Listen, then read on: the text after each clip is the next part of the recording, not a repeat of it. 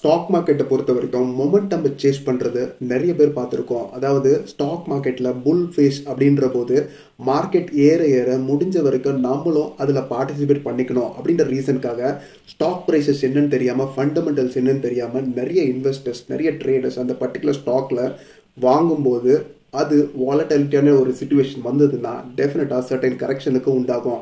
So பண்ணுற mistakes என்னென்னா பீக்கில் இருக்கும்போது பை பண்ணிவிட்டு அது வாலட்டிலிட்டியாக கீழே வந்ததுக்கப்புறம் செல் பண்ணுறது தான் இதனால தான் ஸ்டாக் மார்க்கெட் ஒரு ரிஸ்கி பிஸ்னஸ் அப்படின்னு சொல்லுவாங்க.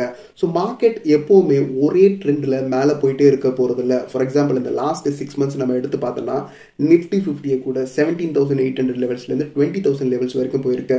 ஸோ இந்த யாருமே வந்து ப்ரெடிக்ட் பண்ணவே முடியாது. அந்த மொமெண்டமில் நாம் வந்துட்டு கால் எடுத்துட்டோன்னா ஸ்ட்ராங் ஃபண்டமெண்டல் குவாலிட்டியான ஸ்டாக்ஸை நாம் மிஸ் பண்ணுறதுக்கு நிறையவே வாய்ப்புகள் இருக்குது ஸோ என்ன பண்ணணும் அப்படின்றத அனலிஸ்ட் சொல்கிறாங்கன்னா ஈவன் இந்த மாதிரி வாலட்டிலிட்டியான சுச்சுவேஷன் நாம் ஒரு ஸ்ட்ராங்கான ஒரு ஃபண்டமெண்டல்ஸ் தெரிஞ்ச ஸ்டாக்ல இன்வெஸ்ட் பண்ணியிருந்தோன்னா நிச்சயம் சிஸ்டமேட்டிக் இன்வெஸ்ட்மெண்ட் பிளானோ இல்லை ஆவரேஜிங் மெத்தட் மூலமாகவோ அந்த ஸ்டாக்கை நாம் இன்னும் பெட்டர் ப்ரைஸ்க்கு வாங்க முடியும்.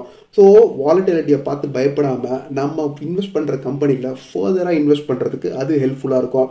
இப்போ மார்க்கெட்டை நம்ம பீட் பண்ண போகிறதில்ல மார்க்கெட் என்ன ட்ரெண்டில் போதோ அது கூடவே நம்மளால் கண்டினியூ பண்ணி போக முடியும். ஃபார் எக்ஸாம்பிள் ட்ரேடர்ஸ் அண்ட் இன்வெஸ்டர்ஸ்க்குள்ள டிஃப்ரென்ஸ் ட்ரேடிங் பண்ணுறவங்க ninety percent they lose money but investment பண்ணுறவங்க eighty nine percent they gain money only eleven percent மார்க்கெட்லேருந்து lose பண்ணுறாங்க என்ன வித்தியாசம் அப்படின்னு பார்த்தோன்னா லாங் டேர்ம் வியூ இருந்ததுன்னா நிச்சயம் சக்ஸஸ்ஃபுல்லான இன்வெஸ்டராகவும் இருக்க முடியும். அது ஃப்யூச்சருக்கு டெஃபினட்டாக ஒரு பெரிய வெல்த் கிரியேஷனாக இருக்க முடியும். இந்த லாஸ்ட் சிக்ஸ் மந்த்ஸில் மார்க்கெட் நம்ம மூவ் ஆனதை பார்த்துருப்போம். For example companies like Mazagon dock Suzlon Jai Balaji இதெல்லாம் டூ ஹண்ட்ரட் பர்சன்ட்டுக்கு மேலே மூவ் ஆயிருக்கு. ஸோ இதனுடைய ட்ரெண்ட் என்னவா இருக்கும்? எப்படி இருக்கும்? அப்படின்றத நம்ம தெரிஞ்சுக்க முடியாது.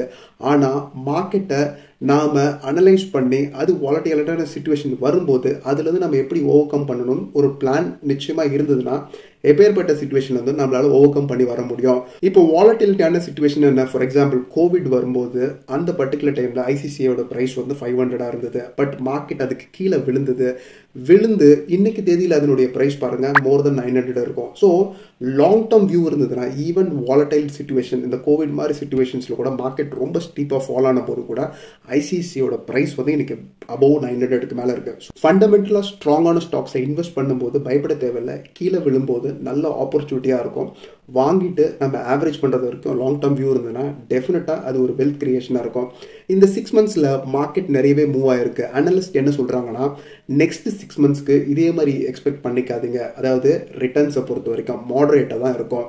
தேவையில்லாமல் காசை வந்து வெளியே இருந்து போரோ பண்ணிவிட்டு ஸ்டாக் மார்க்கெட்டில் இன்வெஸ்ட் பண்ணாதீங்க. மூணாவது க்ளீன் போர்ட்ஃபோலியோ வச்சுக்கோங்க. இந்த மொமெண்டம் நம்ம சேஸ் பண்ணி நிறைய small cap stocks mid cap ஸ்டாக்ஸை நம்ம வந்துட்டு பை பண்ணி வச்சுருப்போம்.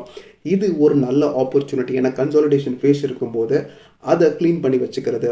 நான்காவது நாம் ஒரு கம்பெனியை எதுக்கு வாங்குகிறோம் அதனுடைய ஃபண்டமெண்டல்ஸ் என்ன? அதனுடைய பேசிக் டீட்டெயில்ஸ் என்ன?